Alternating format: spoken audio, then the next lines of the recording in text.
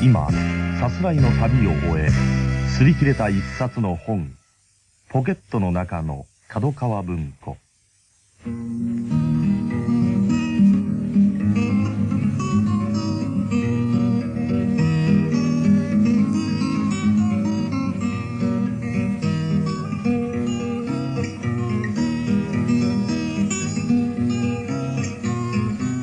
こんばんは、片岡義雄です。安田みなみです。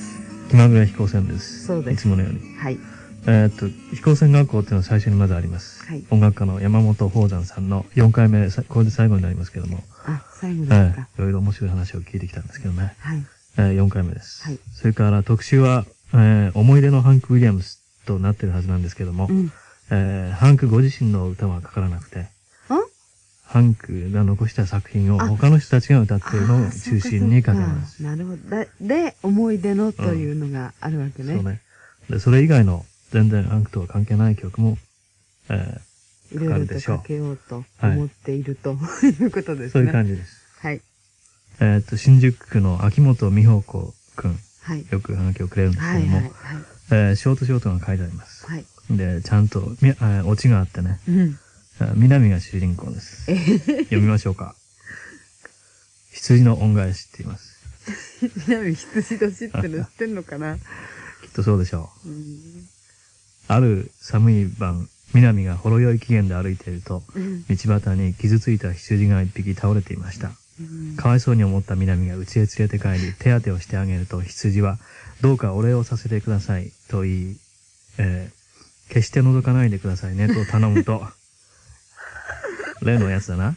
うんうん。決して覗かないでくださいと頼むと、三日三晩部屋に閉じこもって、旗を折り続けました。つまり、あの、羊毛をうん折って、うんはいうん系統を作った。うんところが南はやっぱり我慢しきれずに覗いてしまいました。そこもみな南だと多分そうだよな。うん。羊は、かわいそうに、南のために一生懸命に自分の毛を抜いては、セーターを編んでいたのでしまあ、悪いことしちゃった。た。ね。覗いたの？南覗いたの？うんそこで南は一言言うわけ。その一言がこの、えーコントのオチになってるんだけども、うんどういうオチだと思いますか？いやー、わからないな。私だってすごい感情移入しちゃったね。自分のことだなんて言うから、感情移入しちゃったね。うん。いや、感情移入はしない方が幸せになるよ。うん。いや、だからさ、南のためにセーター、私セーター好きでしょ？うん。で、セーター編んでくれてるのに覗いちゃったて悪い。うん。で、きっとね、かなり、あの、ほら、羊って、あの、買っちゃうとね、毛を、うんうん。あの、割と寂しいね、うん。痩せっぽちになっちゃうね。ね。その姿を見てね、しかもそれは南のためにそうしたんだと思う,、思うと悲しくなっちゃうんもう。なんか、今度のオチなんていうような風にいかなくなっちゃって。そうん。どう。ういう？みんなオチを聞きたがってるな。うん。言わないにしよいや、言ってください。きっと私にとってひひどいしっぺ返しじゃないかと思うんだけう。ど。そうじゃなくてね、うん一応コントとしてはうまく旧大点だと思うけども、うん。えー南はこう言うんです。ウールマークがついてるかな そう。ウール、ウールっていうもんね。うんねあの、そうね。だから、あの、洋服としてはね、着るもの、アストラカンっていうのうんを知ってる、あの知ってる。なんとなく。羊のね、胎児の毛なのね、はあれ。もっとかわいそうなの。ね着るときはいいんだけどね。でも、うん。そうね、普通に、あの、こう、羊の毛を買って、あの、あれすると、ウうんールになるんですね。そうです。私思うんだけど、片岡さん、綿羊、私北海道でしょ、うん。小さい時によく綿羊っていう風に言ってたの。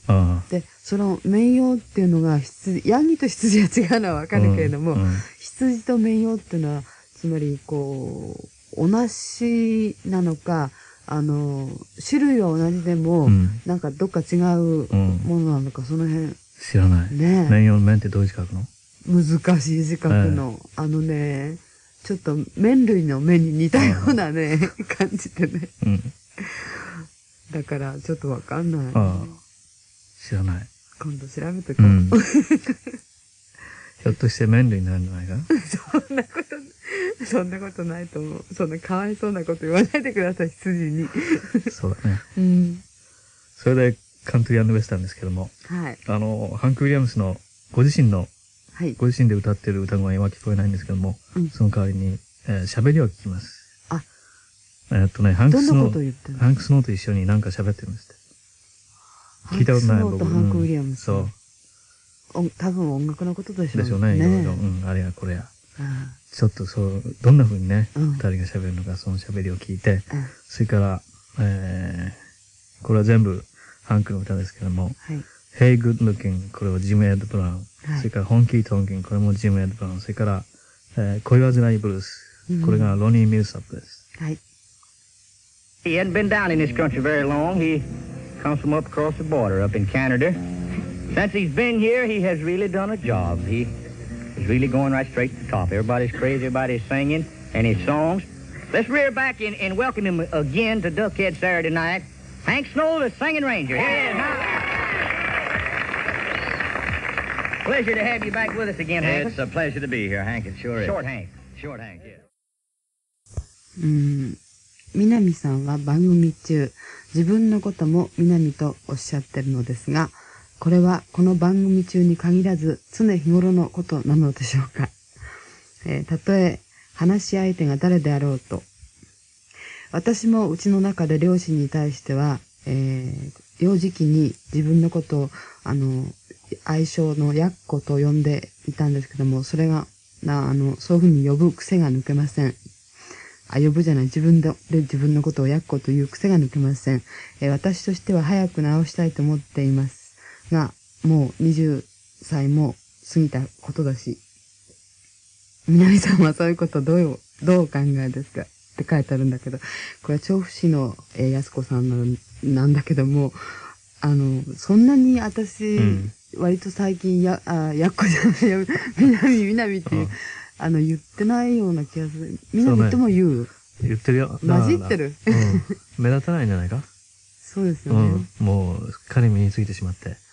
私ね、言われたことあるんですよ。うん。彼女みたいに自分で反省したんじゃなくてね、もうだいぶ何年か前になるけど、うん友達にね、うん。うん。あのー要するに自己中心的なのがよく現れてるとかね、うん。友達だからもちろんその、とってもこう、悪意を持って言言ったっていう感じじゃないんだけども、うん。あのーそれで、その、その人も、結局、南っていうわけですよね。うんうん友達がみんな呼ぶわけですよ。南っていうのはそうなんだよな。自己中心的に、あの、あれだから、自分のこと南、南っていい年して呼ぶんだよなって言われたことあるわけ。うんそれで、あの、他にはね、あの、やっぱりその、彼女が言ったように、うんその、幼幼児期のうん自分で南って言ってたのがね、そ抜けない。抜けないと。つまりだから、非常に幼児っぽいところがあるというね、うんふうなことなんかも言われたんだけども、うんこれは、でも、あの、彼女の場合は、安子をやっこって言ってるんだけれども、だから完全にあい、あの、なんていうのかな、こう、安子じゃなくて。そうね。うん相性みたいになってう。ん。だから私でも、親の、ん。親の、あの、お正月にね、あの、家に帰ったわけですよね。で、私の兄弟うん。はもうみんな結婚してるんだけど、うん。弟と妹と、うん。で、まあ弟は男だからかどうかわからないけども、うん。妹はあの結婚してるけれども、うん。だって真岡はさって、うん。真岡っていう名前なんですよね。で、やっぱり真岡っていうふうにうん。言うんですよね。